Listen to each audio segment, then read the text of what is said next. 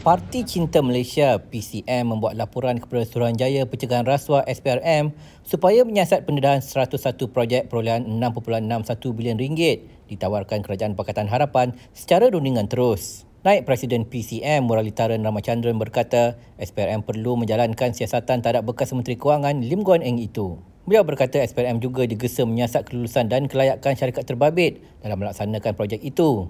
Beliau berkata demikian kepada pemberita sebelum membuat laporan di SPRM di Putrajaya pada Selasa 25 Ogos. Dalam meluluskan satu satu projek secara direct nego yang, yang berjumlah 6.